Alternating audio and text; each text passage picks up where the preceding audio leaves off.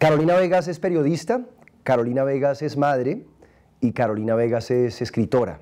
Y hoy nos congrega el pretexto de hablar con ella acerca de su más reciente libro, englobado bajo el título de Un amor líquido, una obra que nos remite a toda la complejidad, a toda la magia y a todo lo que implica el hecho de ser madre.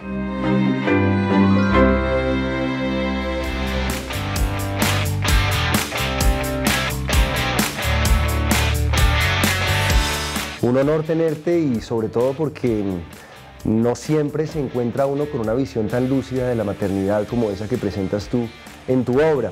Eh, inevitable el hecho de volverse atrás y pensar que la mujer, lo femenino, el hecho de ser madre, los conflictos propios de la condición femenina están presentes y trazan tu obra publicada hasta hoy. Y pienso en la crudeza, en el buen sentido de la expresión con el que tratas esos temas. ¿Por qué esa obsesión? ¿De dónde viene?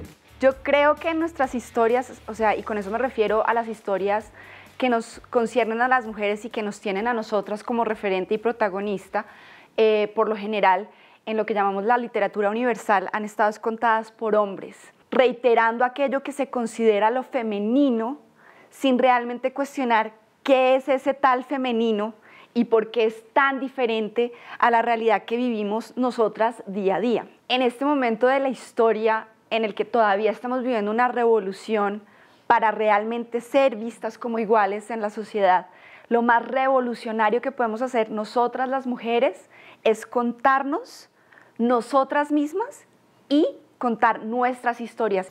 Aquí ya miras el asunto desde una perspectiva personal, me parece que, desnudas eh, perfectamente quién eres tú y cuentas tu experiencia propia como la madre de Lucas, se puede decir el nombre, ¿no es cierto?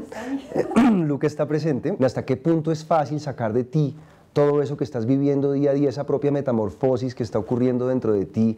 Escribir este libro, Un amor líquido, nació de la pulsión, de la necesidad de explicarme a mí misma qué era lo que me estaba pasando, porque este era un proceso que como todos los procesos en el mundo de las mujeres estaba completamente romantizado y en donde además en el momento en el que tú planteas la posibilidad de que ese romanticismo no sea tan romántico, de inmediato sientes que la sociedad te está juzgando porque eres una mala mamá, por no estar sintiendo lo que se supone que debes estar sintiendo en ese momento.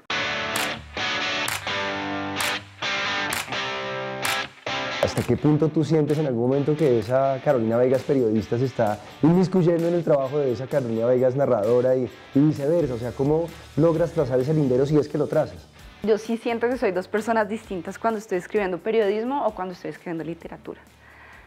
Y creo, siento desde mi fuero interno que este libro es literatura. El lenguaje que utilizo es literario, la manera de construir eh, el texto, cómo, cómo, cómo va la trama. Yo lo que escribí fue una novela, así el personaje principal sea yo.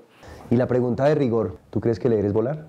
Sí, es volar lo más alto que se pueda volar, es la experiencia más sublime en mi vida y en mi caso es la posibilidad de habitar otros mundos y de ser otra persona durante en que sea un ratico.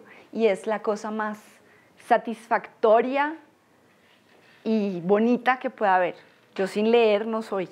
Les recomiendo esta obra, una manera muy especial de acercarse a la maternidad con una voz muy franca, muy propia y con una voz muy personal.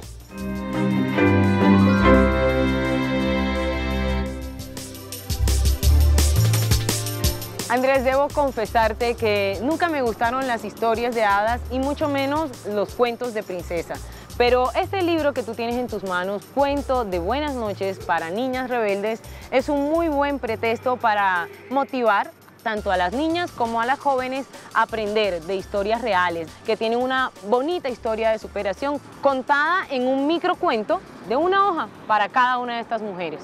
Muchas historias ilustradas por eh, Elena Favili y Francesca Cavallo, quienes nos están relatando de una manera muy simpática, muy dinámica y sobre todo muy gráfica las historias de mujeres maravillosas. Serena Williams, Frida Kahlo, Elizabeth I y por supuesto Coco Chanel serán algunas de esas 100 mujeres que encontraremos allí en este libro Cuentos de Buenas noches para Niñas Rebeldes. Está también disponible en la red distrital de bibliotecas. Este es uno de los recomendados de Leer es Volar TV.